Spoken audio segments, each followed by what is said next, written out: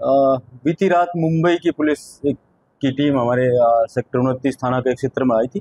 उनके पास कोई सूचना थी उनके केस की कि उनका केस का कोई आरोपी यहाँ पर है। तो हमारी सेक्टर उनतीस थाना पुलिस की सहायता से उन्होंने एक अभिनंदन होटल पर रेड किया और एक लड़के को उन्होंने काबू किया है। सुखा सुखवीर और सुखा उसका नाम है और वो गाँव हमारे जिला पानीपत के रेरकला गाँव का रहने वाला है।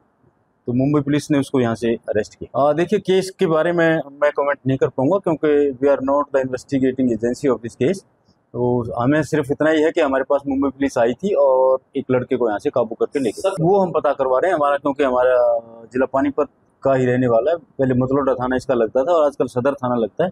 तो दो थानों से इसका हम रिकॉर्ड पता करवा रहे हैं। देखिए मैं मैं इस बारे में कुछ नहीं कह पाऊँगा क्योंकि मैं इन्वेस्टिगेशन इस केस की नहीं कर देखिए ये एक कानूनी प्रक्रिया है कि कोई भी अदर स्टेट की पुलिस आती है तो लोकल पुलिस उसको सहायता देगी।